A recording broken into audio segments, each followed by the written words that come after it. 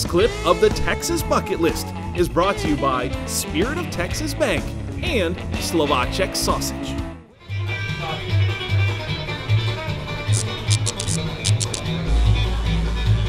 Howdy, and welcome back to the Texas Bucket List. For this week's Burger of the Week, we headed to College Station, just a few miles northeast of Brenham, to go to the chicken for a burger.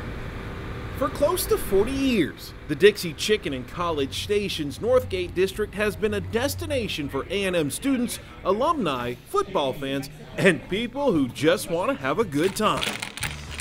Since 1974, the chicken has been the coop to call home, known for its down-home Texas country atmosphere. It's a lot like another spot we visited on the Texas bucket list. They really liked the whole Luckenbach feel, which is where they got, you know, the idea for the Dixie Chicken and what it, what they wanted it to look like. Katie Jackson and her sister Jennifer Ganter own the Dixie Chicken, but this story starts with their father. These are the two that started the Dixie Chicken. That's a very old picture of my dad. This is Don Anz, my dad's partner. Back in the early 70s, the two Dons had a daring idea. Open a bar close to the A&M campus and invite Aggies to wet their whistles on weekends or whenever they wanted to take a break from the stress of school. No, they struggled for just for a little while. Back then, it was you know kind of less heard of to just go to college and kind of go crazy. But then they they warmed up to the idea. They figured out how to multitask. They did, they did. That's probably a better way of saying it. Don Ganter took sole ownership of the Dixie Chicken in 1982, and after his passing in 2004, he passed down the keys to the best known bar in the Brazos Valley to his two girls. This is the uh, original bar. this is the original bar. Yes. When it was originally built, the chicken consisted of one room with lots of things on the walls. Not much has changed over the years. But there's very few items that my sister and I have placed in here ourselves. Most everything in here was done by my dad, you know, when when we opened. Um, so it's there, you know, everything in here is very old and and uh, who knows where he got it. Katie and Jennifer like to keep the chicken exactly how it was all those years ago.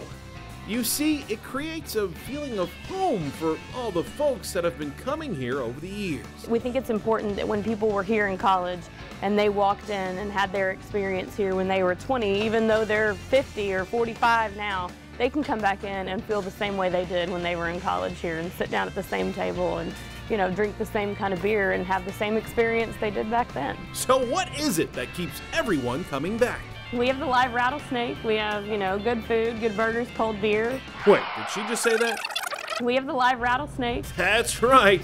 You can sit and stare at a snake while sipping on some suds.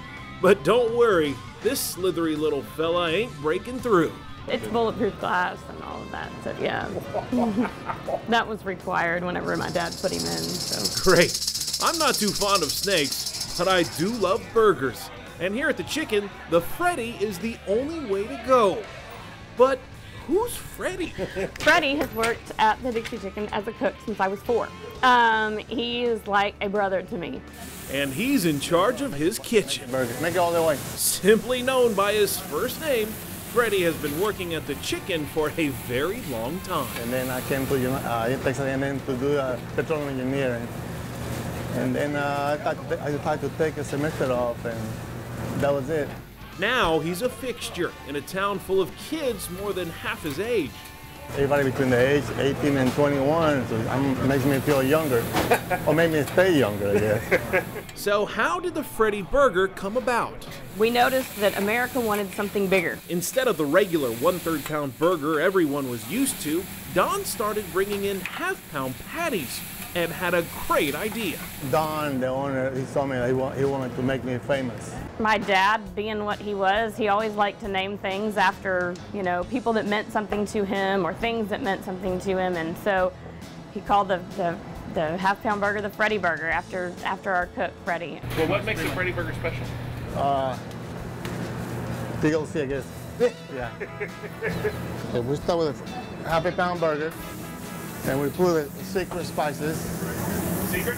Secret spices, You yeah. can't tell me what's in there? Everybody, everybody knows about it, but it's a secret. Yeah. And then uh, we, we, we want it to flip as, as much as we can. We don't want to leave it one spot. So it'll, it'll tend to be little more spices on it. And it'll be a couple of minutes in that. So constant flipping. Go to flip yeah. You don't want it to be too long. When Freddie says flipping, he's not fibbing. As much as I can, how many times I can. I said maybe 20 times, maybe. With all that work, Freddie doesn't have time to prepare the produce, so that gets taken care of on the side.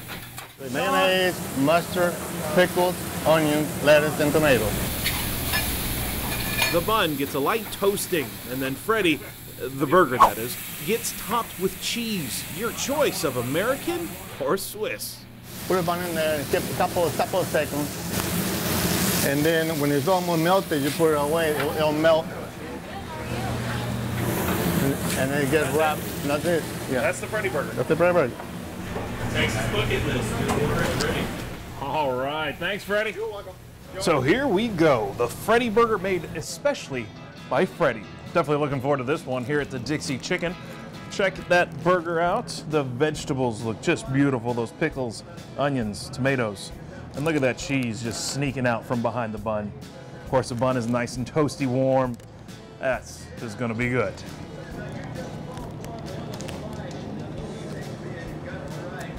Mm. Mm.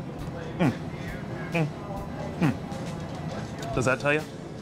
It turns out that Freddie's TLC makes this burger something you have to sink your beak into at the Dixie Chicken.